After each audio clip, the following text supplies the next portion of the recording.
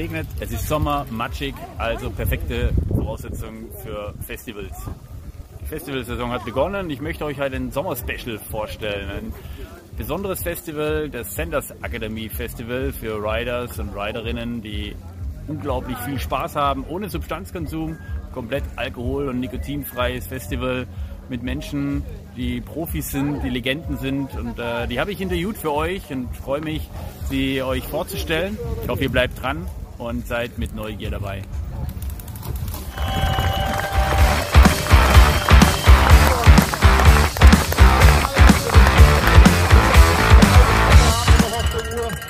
Also für mich als Profisportler ist es enorm wichtig, Rausch und Risiko wirklich klug einzuschätzen und einfach den Kopf einzusetzen, nicht irgendwie dumm zu sein. Es geht darum, kluge Entscheidungen zu, zu treffen und kluge Sachen zu machen. Das ist das gleiche, wie wenn ich jetzt irgendwie einen neuen Stunt mache oder einen neuen Weltrekord mache oder irgendwie sowas in der Richtung. Wenn ich das dumm mache, dann geht schief. Das gleiche bei allen Räuschen und allem, was man macht. Wenn man das übertreibt, wenn man es zu viel macht, wenn man, wenn man das Ganze übertreibt, dann geht's in die Hose. Und das gleiche bei uns beim Sport. Und deswegen ist das Wichtigste, hey, setzt so einen Kopf ein. Der Kopf ist das Wichtigste, ist das Coolste. Und wenn ihr euren Kopf wirklich nützt und da coole Sachen mit dem Kopf voranstellst, stellst, dann kann der Kopf so viel bewirken. Aber der Kopf, der braucht positives Futter. Der braucht, der braucht nicht negative Einflüsse, die den Kopf berauschen und die einprasseln in den Kopf und die ihn zum wirren Denken bringen. Der braucht Positivität und der braucht coole Sachen, der braucht coole Leute, ein cooles Umfeld.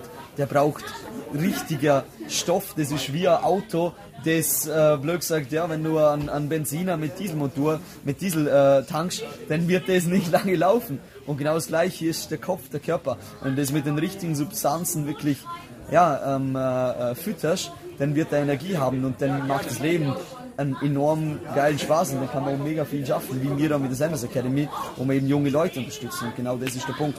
Tut eurem Kopf was Gutes und äh, bringt es dann immer weiter.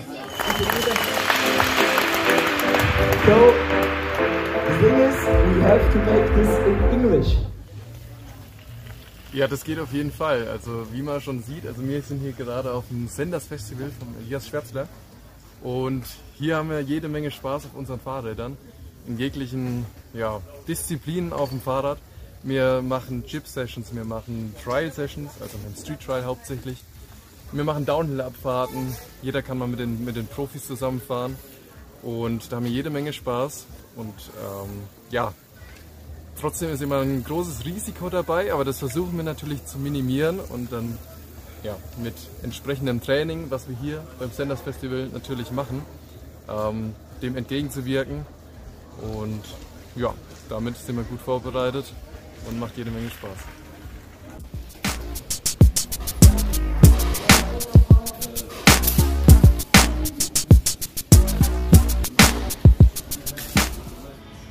Rausch und Risiko ohne Substanzkonsum.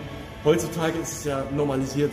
Ich bin in einem ziemlich jungen Alter, jugendlich, ich bin jetzt 18 Jahre alt und alle Mitmenschen um mich herum in dem Alter, die konsumieren Alkohol, andere Drogen. Das ist Normalität geworden heutzutage. Aber es gibt, es gibt einen Plan B, es gibt noch einen anderen Weg. Anstatt dass man sich mit Substanzen vollpumpt, was deinem Körper schadet, was deiner mentalen Gesundheit schadet, kannst du auch einfach Sport machen. Ich selber bin jetzt Mountainbiker, ich mache noch ganz viel anderen Sport und kannst dir dadurch die langfristigsten, besten Glücksgefühle holen, die es überhaupt nur auf der gesamten Welt gibt.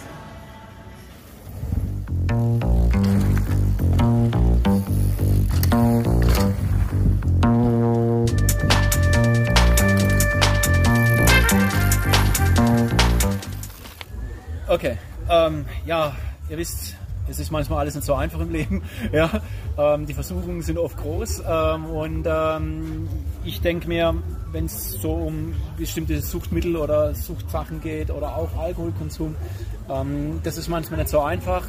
Ich möchte einfach mal kurz ein bisschen was ja, für mich sagen, ähm, wie ich damit umgegangen bin in meiner Jugend. Und ähm, da war das eigentlich immer recht, äh, äh, ja, für mich war das recht einfach. Ich habe mir aus Alkohol nie was gemacht.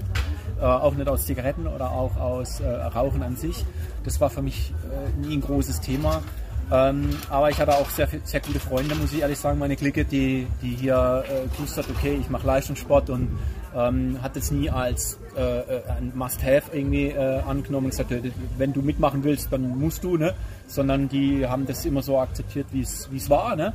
Und ähm, eben, und somit bin ich eigentlich ganz gut durchs Leben gekommen. Ja? Ähm, Im Ende vom Tag bin ich eigentlich auch ganz froh, dass mir kein Bier schmeckt. Ja? Das schmeckt mir einfach nicht. Und, und äh, von dem her gesehen war das immer für mich relativ äh, einfach. Natürlich hat mir der Sport auch enorm viel geholfen. Ja, der Sport war für mich immer der, der Anker, für mich gab es Ziele und ähm, die ich erreichen wollte. Und klar, da passt jetzt der Alkohol oder auch Zigaretten nicht ganz so dazu. Deswegen bleibt dabei, versucht immer was zu machen, versucht daher ein bisschen Ziele zu stecken und dann werdet ihr auch äh, einen guten Mittelweg finden.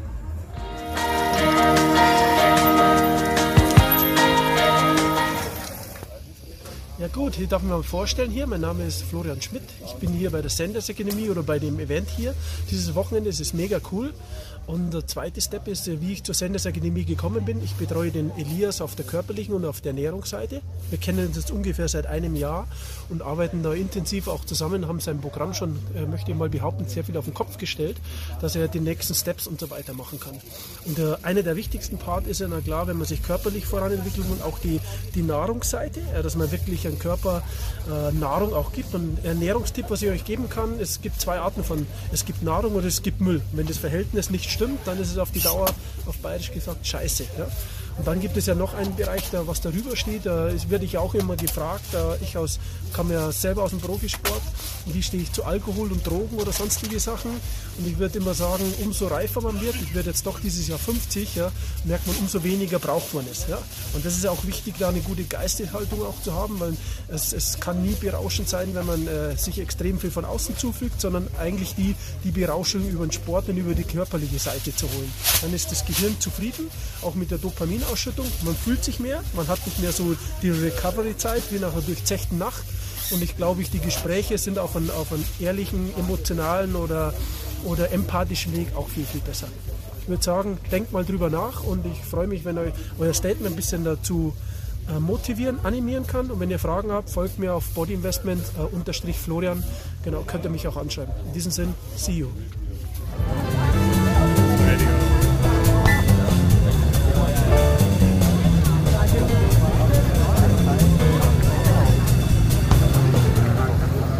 Bin Rick. Äh, ich äh, spreche jetzt einmal ganz kurz darüber, was äh, bewusster Konsum wirklich ist. Ähm, bewusster Konsum, kann man dann überhaupt damit auch noch irgendwie Spaß haben? Ja, absolut. Äh, ich trinke keinen Alkohol, ich nehme keine irgendwelche Substanzen zu mir. Noch nie in meinem Leben, ich habe noch nie probiert, äh, auch nur irgendwie Art und Weise. Und trotzdem bin ich wahrscheinlich der, der bei einer Karaoke-Nacht am lautesten mitschreit. Äh, und das liegt halt einfach auch nur daran, weil ich halt einfach genau weiß, dass es mir schlussendlich nichts bringt, sondern eigentlich immer auf lange Zeit eigentlich nur schaden kann. Man kann definitiv feiern, man kann definitiv auch ein bisschen was konsumieren, aber man sollte halt einfach schauen, dass das halt immer alles irgendwie im Rahmen bleibt und man mit sich selber halt auch weiß, hey, äh, jetzt ist es vielleicht ein bisschen zu toll gewesen, jetzt will ich mal wieder wirklich was er erreichen und wirklich mal wieder, wieder wirklich den Arsch aufreißen. Und äh, danach, wenn man dann was geschafft hat, wenn man rausgegangen ist und vielleicht irgendwie was Geiles geschafft hat, einen coolen Sprung gesprungen hat oder was Geiles gefilmt hat, jetzt in meinem Bereich, äh, dann kann man das vielleicht auch mal wieder zelebrieren. Aber eben das Ganze halt eben bewusst und nicht in Übermaß.